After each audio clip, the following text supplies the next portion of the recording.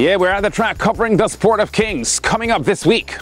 A former Gulfstream Park and Woodbine winner delivers a stylish victory in the Nigel B. Nunes Memorial Cup feature at Jamaica's Caymanas Park.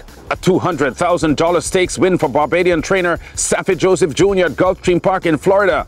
A 13th stakes win this season at Canada's Woodbine for the evergreen Barbadian top jock Patrick Husbands. And the legend, Frankie Dettori, makes his British racing exit with an emotional Champion Stakes victory at Ascot. Plus the weekly stats on Caribbean success on the North American continent. or opening story from Caymanas Park in Jamaica. Saturday's main event, the Nigel B. Nunes Memorial Cup, honoring the late Hall of Famer and 1976 champion trainer, whose sons Anthony and Andrew have also been hugely successful with championship titles in Jamaica and Barbados, and between them, dozens of classic successes. All eyes here on the 13 horse, a shipper from Florida targeting the Rich Moute Mile in December. The six year old mare American Tap for her first outing and favourite with informed Tevin Foster aboard for trainer Howard Jagai. There's the inside half of the big 15 horse field for the 5 furlong straight sprint. Among the leading contenders in this group, number 2 Race Car at 8 to 1 odds, 4 Madeline Sunshine at 10 to 1, Duke the 6 horse is the 4 to 1 second favourite. Number 8, Excessive Force, who is winless since his massive Moute Mile win last December, is at 16 to 1. American Tap, number 13, is the 1 to 2 favorite.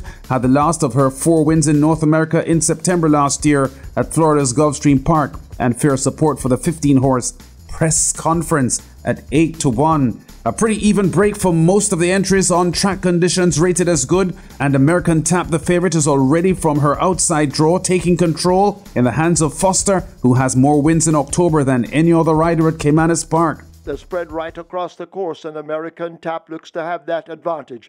True Bravado in chase. Luxall just in behind him. Press conference near to us. On the far side, a gift from Ben and Ultimate Machine asked to get going, but American Tap seems to be cruising the rider. Now changing his hold, and American Tap has them all off the legs. Ultimate Machine in the middle. A gift from Ben on the far side with Madeline Sunshine, but this American Tap is in full flight and running away from them inside the final 16th. It's American Tap a smart one. An American tap comes away to win by maybe five over press conference. First outing at Caymanas Park and impressive in her tune up for the rich December 2 Moute Mile. A fifth lifetime win this for the Canada bred American Tap, adding to three wins she had at Gulfstream Park in Florida and a win at Woodbine in Canada. A special moment this for winning trainer Howard Jagai. Yes, because of how awesome his mare looked, but also because it marked the first win he has had since the passing in August of his celebrated dad, former jockey, trainer, owner, and champion breeder Harry Jagai. It was very, very emotional. Um, it was the first race that I won since my father had passed. Um, you know, there was a split second when I was leading in that I actually looked in the in the club stand, the lower level of, of the club stand, um, where I was actually looking for him at a moment. The performance was good, I think, um, in my humble opinion. It was some good splits, like um, 23, 46. The 58 on 2 was, was quite satisfying. And based on the fact that she, she has not raced in a couple of months and is the first time on local soil, um, so she has acclimatized well.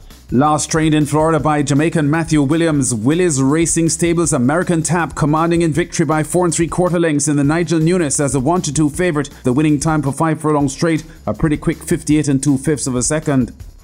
Now to Florida's Gulfstream Park, where American Tap raced 13 times and had three wins. No race on Saturday's card richer than the $200,000 Susan's Girl Stakes.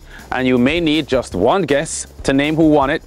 And if you said Gulfstream Park champion trainer Saffie Joseph Jr., you are right. His entry R Harper Rose was the 1 to 5 favorite under jockey Edgard Zayas, and they made it gate to wire, watched by Pete Aiello in the come box.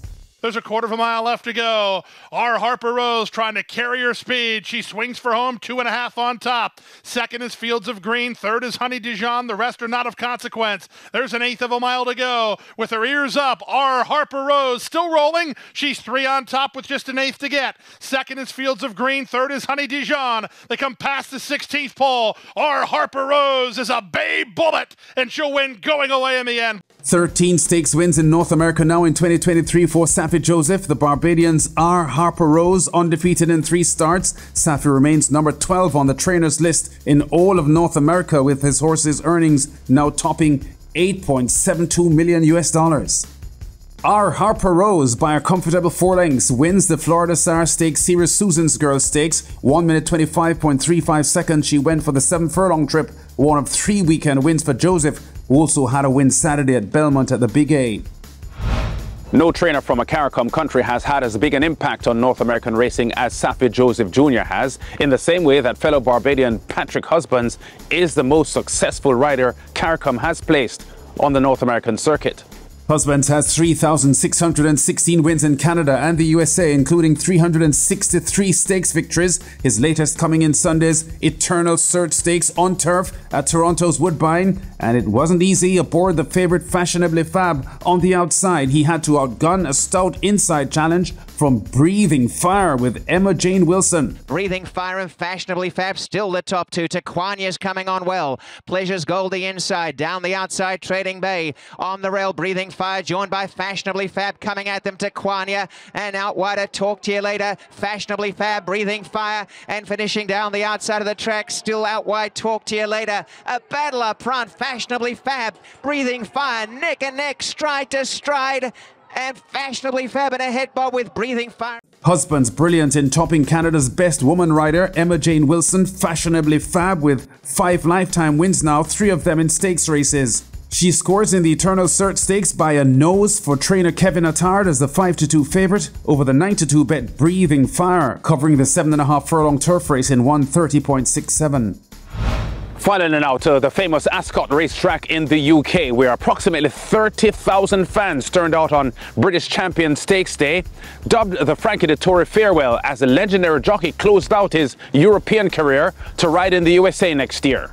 And my word, didn't they get their money's worth in the day's main event, the 1.3 million pound QIPCO Champion Stakes. Watch as the 52 year old Dettori in the purple and white silks is about to bring the favorite King of Steel from last to first in the 10 furlong event. Here Sistina tries to keep closer in company with Horizon Dore. Heads a turn for home and Royal Rhyme goes to My Prospero. Bay Bridge on the outside, Horizon Dore and Via Sistina now loom up. King of Steel is pulled towards the outside. A furlong and a half to go. Horizon Dore and Via Sistina are locked together. Behind these Royal Rhyme, King of Steel, Point Lonsdale rallying. It's Via Sistina, the fair, who takes it up for Oisin Murphy. King of Steel down the outside for Frankie Dettori with half a length to find, 100 yards to go. King of Steel on the outside, a Via Sistina, a certain inevitability. Absolutely insane. What a day. How can finishing my last ride winning the Champions Stakes at Ascot? I, I still have to piece myself.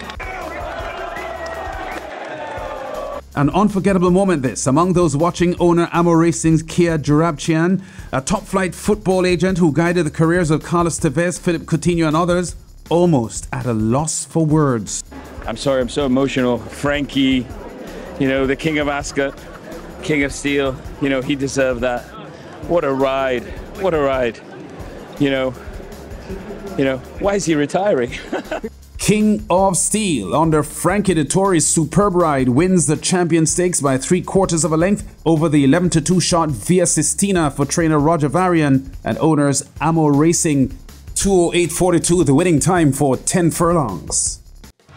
Our usual weekly tally of wins for Caribbean racing men in the USA and Canada before we go. I've counted in the past week since our last show 33 wins, among them the Barbadian rider Rishon Lachman with three wins at Charles Town in West Virginia. Another Barbadian rider, Antonia Whitehall, had two wins, including a stakes tramp at Central Downs, where the Jamaican veteran Trevor Simpson also had two wins. We've been at the track covering top stories and exciting races in the sport of kings.